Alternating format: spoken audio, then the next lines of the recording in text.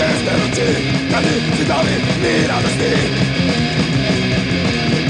Na świętym marzyłce porą prywatny Na świętym marzyłce porą prywatny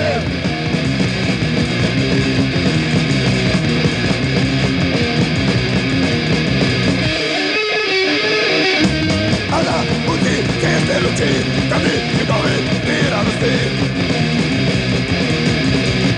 siente más de un segundo prevalente, la siente más de un segundo prevalente.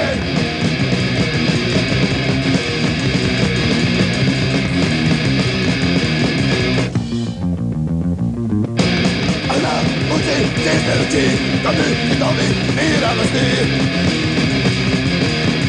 La siente más de un segundo prevalente, la siente más de un segundo prevalente.